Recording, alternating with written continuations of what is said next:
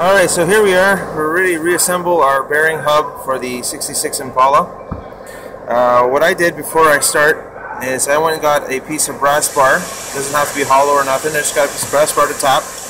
I also took the old races and I sanded them down or grinded them down to use them to push the new ones in. Uh, something good that you want to do uh, right off the bat. Alright, so here we go. I start, this is the way I do it. I start at the back, the larger one, lower that into place, grab the old one, place it on top, here, and gently tap in a circular kind of pattern here. Excuse my hands for a second. Actually, you don't really need it until it's flush. And then you go. Nice and easy. Nice and easy. Nice and easy. You can feel it going down. The reason why you grind this down is so it doesn't get stuck in there and you gotta hammer it out and risk ruining your other race.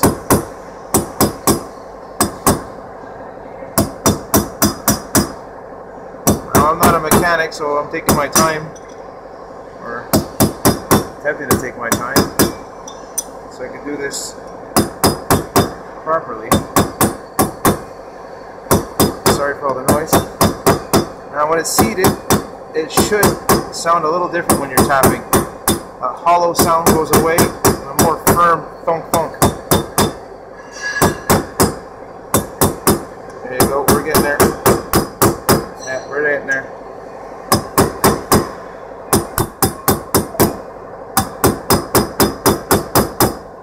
Sounds like it. Let me check it inside. If you look inside, you can't really see it, but you can see it yourself. And we're almost seated. I think I need a little more tapping.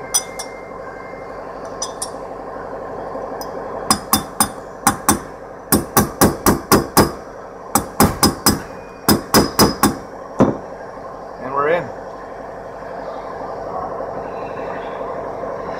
Just a quick inspection. We're in. Alright, same thing applies for the other side. I go and do the races right away.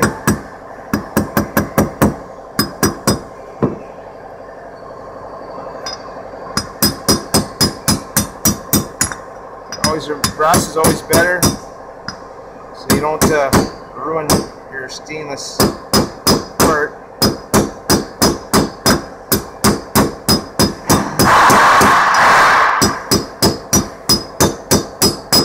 That's pretty flush.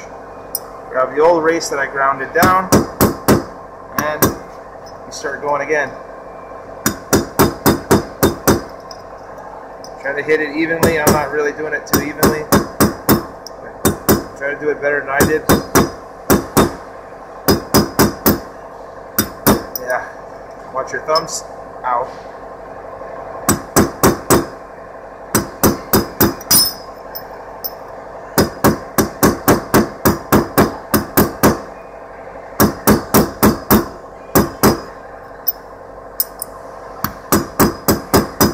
Again, sound should change when it seats. There you go. Solid, solid, solid, solid. And I think we're seated. Quick inspection on the inside. I use my fingernail around the lip. No gap. It's seated. So we're done that side. What's next? I grab my blue grease here. Use any grease you want. I use the blue stuff. Put a good gob of it in the palm of your hand and start packing the bearings. Uh, maybe start from this side, it'll be easier since the uh, there's no airflow yet through there. I mean, nothing uh, blocking uh, the air holes out the back. Be a little bit easier. I don't know. I'm not a professional. This is the way I'm doing it. All right. So you're just kind of pressing and scooping at the same time. You want to fill up all that ring in there as tight as you could. And what I do is I kind of scoop it into the bearings here again at an angle. I don't know if you can see. All around, all around, all around, all around. Again and again and again. Then you flip it the other side and start scooping it in that way. Again, different mechanics do different techniques. Uh, the way I've seen it growing up. So I've seen it on YouTube in a couple of places. I like to check it, make sure it's all, oh, see there's a spot I missed. Check it. Take your time, pack it good. You don't want to have to undo this. You don't want to have to redo bearings for nothing. Uh, the amount of driving I do on my uh, Impala, this should last me uh, at least 10 years, not longer. Alright, quick inspection. Now, somebody once told me you give it a good spin and you just recoat it in case. And that's what I've been doing. So that looks pretty good. I'm going to go ahead. I'm going to put some on the inside here on the race off my hand. And I'm also going to try to pack some in the back of that hub on the inside. Why not? You're there. I don't know how much you're supposed to fill the hub inside, but I like to pack it in there. Alright, so that's done. Just drops in, right? I like to go ahead and scrape a little more in there too. Overkill is underrated, as I once heard in a movie. Smurf fingers here. Looks like I had a good night with Smurf. Uh, next is the seal. Um, I didn't see anything specific about greasing the seal, but I like to, why not, put a little bit in there too.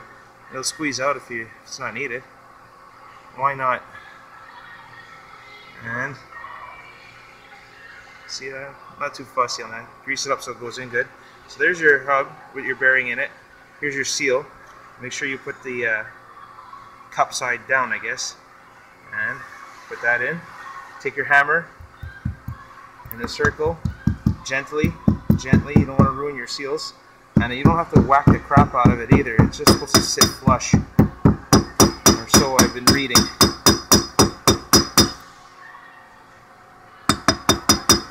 That looks like it's flush to me. Part of the mess. Right? That's one side done. Flip her over. The race is already in her. Let's get a little greasier because apparently I'm not greasy enough. Oh, watch out for garbage everywhere. Alright, here we go. we do the process again. It's better if you put the grease in the palm of your hand. You got a bit more of a firmer kind of cupping action happening. I don't know if I mentioned it, I'll mention it again. I'm not a uh, certified mechanic. I'm just a guy not wanting to pay outrageous money for someone to do something that's clearly easy. Uh, again, flip it over, scoop it into the cracks, pack it in as hard as you can, well, within reason. Right? Give it a twist, stick your finger in there, wedge it so that the, all the little bearings turn. Give it another quick coat. and I think we're pretty much good. Well, before I stick that in, I'm going to go ahead and try to fill the hub as much as I can, within reason, again, with the, the blue grease, because I think it'll be easier than waiting till the end. Some of this Smurf. Anyway, jam that in there. Jam that in there. all around inside. Yeah, I should have been doing this with a grease gun, but whatever. Whatever works. There you go. There, that's all done. And I pop that in there like that. And I give it a little greasing. Now, I don't have my car here with me at work.